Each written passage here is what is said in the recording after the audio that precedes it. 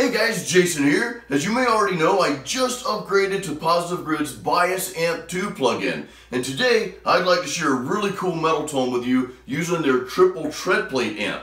I'm going to give you two versions. I'm going to play just a single track for you, and then we'll hear how it sounds in the full mix.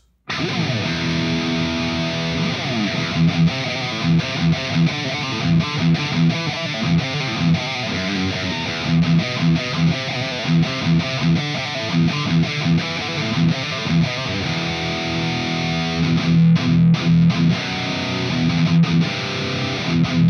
you.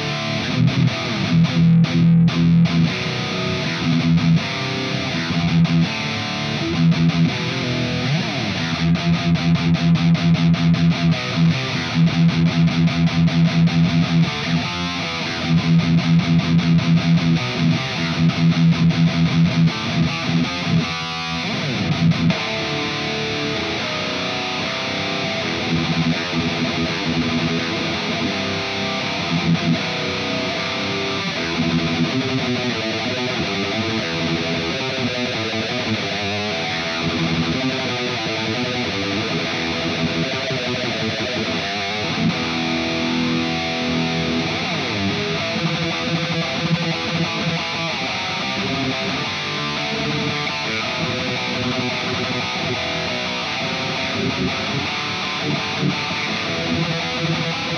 back.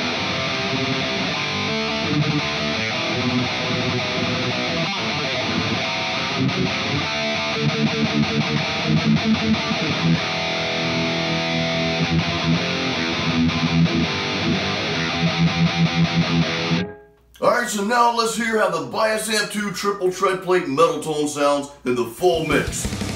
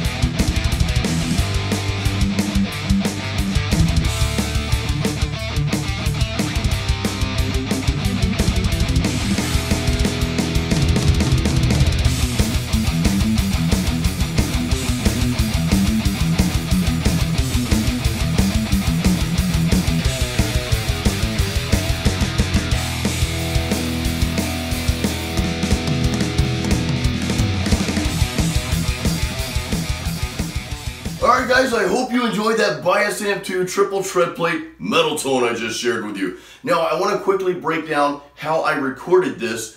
If you go back and listen to the single track, I'd say the first 40 seconds of that track is recorded just using the Bias Amp 2 triple tread plate amp in its rawest form. Now I am using the Celestion greenbacks with that. When I upgraded to Bias Amp 2, I went ahead and upgraded to the Elite version, which I recommend that you do that if you're gonna make the jump because then you get the Celestion speakers. And I use, again, I use the Celestion greenbacks with the triple tread plate. That's a very, very awesome combination, as you can hear.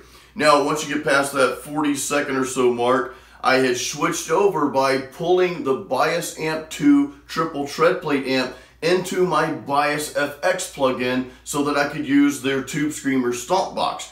And you know, that just kind of levels that tone out, kind of cuts down on the harshness of the tone as you can hear. And I wanted to see how it sounds. Plus I wanted to give you both versions. Here's how the Bias Amp 2 triple tread plate sounds, you know, just in its raw form. And then also here's how it sounds with a tube screamer in front of it. Now I know there's other tube screamer or like um, overdrive simulators that you can get out there, but I just chose to use the Bias FX one. So we move on to the full mix. And the full mix, of course, I recorded two tracks. Actually, I, I kind of redid a song that's on off my uh, heavy metal workout album, Skull Crusher, and uh, and I just re-recorded those tracks using the Bias Amp 2 triple tread plate. So I'm using the same amp and same setting, same Celestion greenbacks on both tracks. You know, I always record two rhythm tracks and I hard pan each one. Um, but what I did again is I had pulled the triple tread plate amp from Bias Amp 2 into my FX plugin so I could use the Tube Screamer. So that's what you're hearing. So guys, I really hope you enjoyed my metal tone using the Bias Amp 2 triple tread plate amp. If you have comments or questions, please leave those. I always try to respond to you guys. Also, don't forget to check out my music. You can go to jasonstallworth.com and on that website, you'll find links to iTunes, Amazon, Spotify, and all those good places to buy and listen to my music. That's always appreciated. Guys, until the next video, keep it metal.